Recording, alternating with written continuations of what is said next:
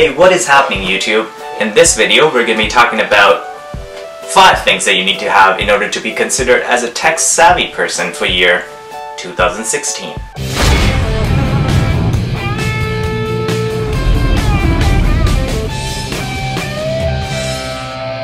Just to clarify, this video is based on my own humble opinion. These 5 things are only for people who actually care about technology as a whole and they want to be called as tech savvy person. So if you're someone who doesn't care about tech, you don't have to have all of them. You're probably fine with like at least one of them as well. I will have some links to some of these cheap products down below in the description section and you can probably go buy it if you want. Anyways, let's carry on. Very first thing, a cell phone.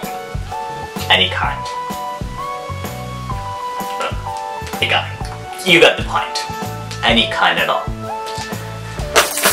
At number two, any kind of headphones. Doesn't matter what kind you have.